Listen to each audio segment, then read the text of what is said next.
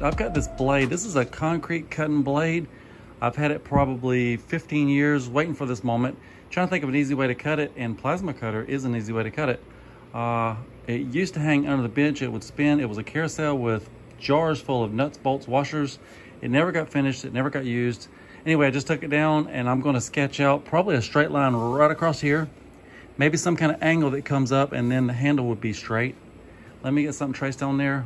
We'll clamp on some straight edges and in just a few minutes, we'll have a dull machete. So this is what I have so far, handle on this side and we'll sharpen this edge and that edge. That'll be our machete.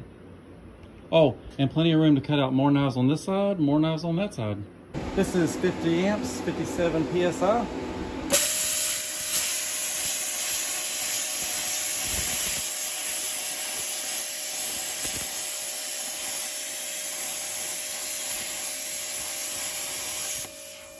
I'm going to realign my straight edge to this line, finish cutting it.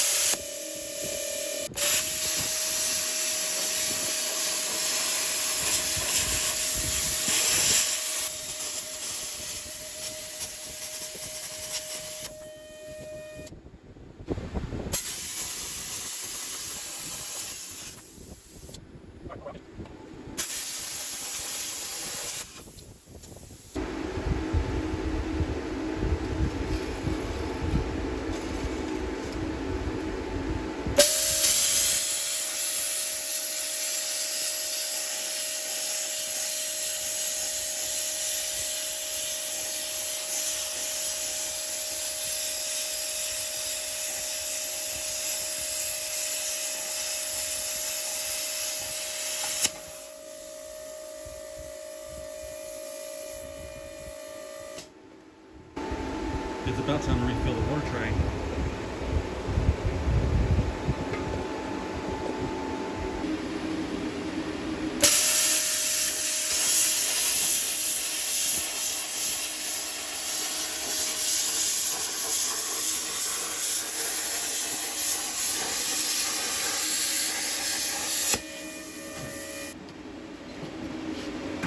And there's our machete.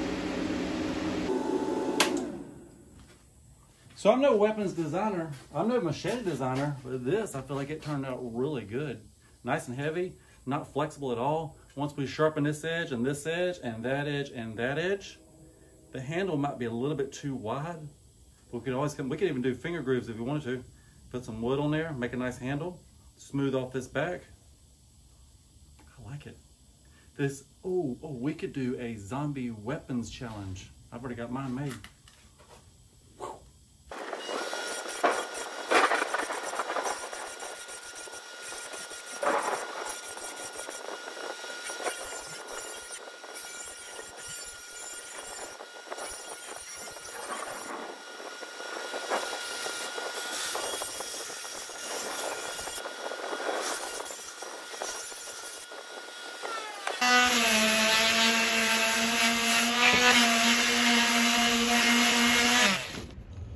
The zombie machete build, I was at work yesterday, I got bored, I drew some pictures.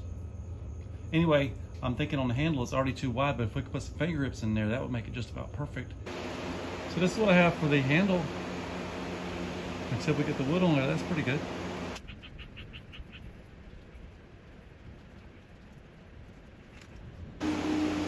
So I'm gonna go ahead with that hook on the tip of the blade, or if you wanna call it a can opener or a bottle opener. The boy he walked through, he's kind of my zombie expert, so he said go for it, so we're gonna go for it. And this will be freehand, uh, and they say to always pull, it makes a better cut. I'm gonna try pushing and pulling. It's a smooth metal, it should work. So we'll push it this way, and then pull it back that way.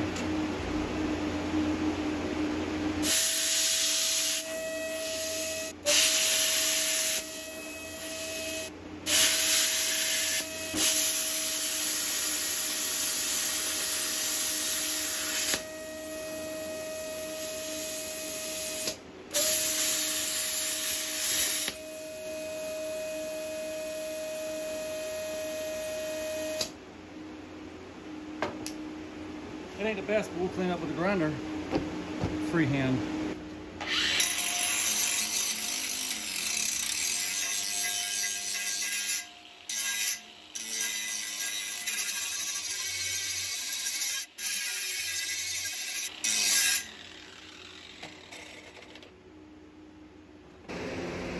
This is how the hook turned out. I like it. Looks good. Next step, we're gonna sharpen the whole blade polish it up a bit, and then add a handle, and we can start testing it.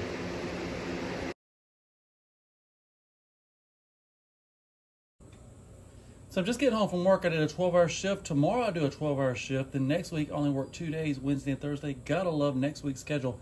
If you can find a job with 12 hour shifts, I only work half the days of the year. Anyway, on the uh, lunch break today, we get an hour lunch break. I went to the hardware store. Got this 3 16 brass rod. That's for the handle. I've got this epoxy to put the handle on. I've got this drill bit. I want to make a few more holes. I might put three brass rods in there. Anyway, the drill bit was on clearance for two bucks. And then I found some 180 grit sandpaper. That should smooth it up a little bit. It was 65 cent a sheet on clearance. So I just made a third hole. We can have three pins in the handle. I made these little holes, something for the epoxy to grab hold to. Then we started sanding it this way, sanding it that way. I believe as far as the finish is, we're done with the finish. Our next step, we're gonna put the handle on, let the epoxy dry, sand it down, seal it. Then we can start chopping stuff. So if you need a full shot of the blade, there it is. I am loving it. The boy said leave the rust on there. It makes it look more legit. We can do that. He's my zombie expert. Next step, handle, and we're done with it.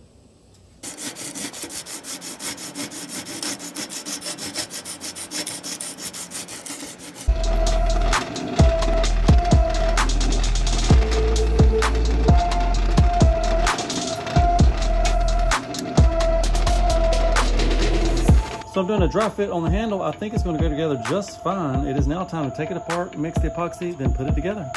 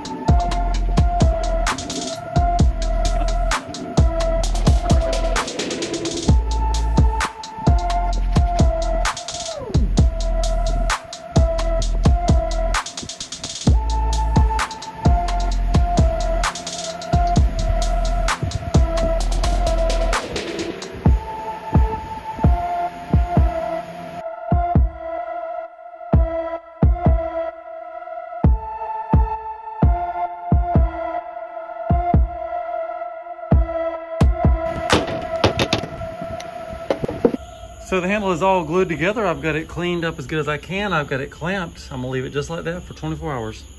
So just the other day, Mike and Larry, shout out to Mike and Larry, they were giving me two lawnmowers, a Craftsman and a Murray. While I was there, he said, hey, do you need a belt sander? I don't know how he knew I needed a belt sander. Anyway, I just picked up some belts for it. I'm about to test it on this handle.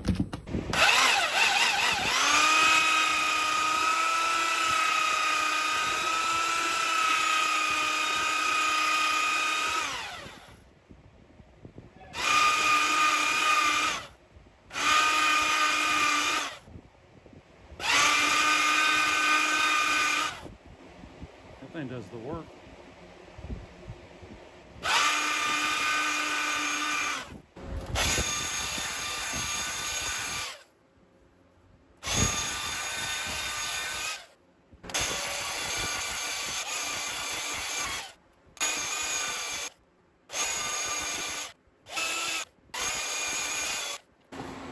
So the handle sides are very smooth. I'm gonna hit this part. Then I got some polyurethane to spray on it.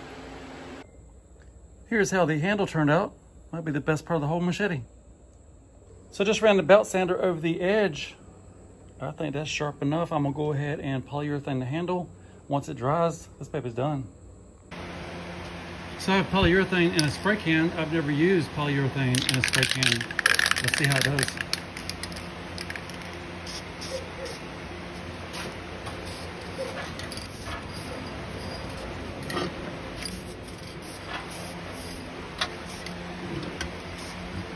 Let that dry. I'm gonna put a couple more coats on. We can call it done. Let us put on coat number two. It's looking good. I almost feel like they copied me. Just not as nice.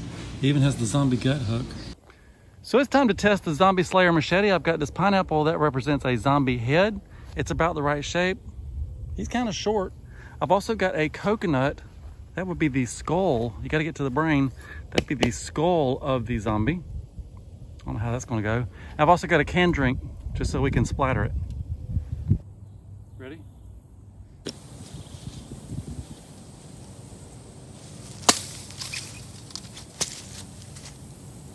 That was easy. Let's move to the pineapple. That was easy. Let's move to the coconut. And we're using this coconut to represent the zombie skull. Pineapple was too easy. This might be too hard.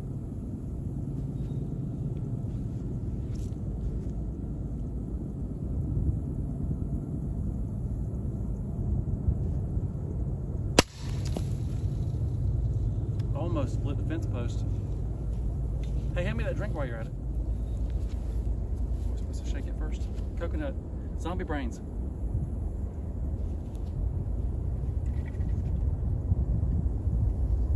So I could do this, or we could go ahead and use the gut spike. It should have been slow motion.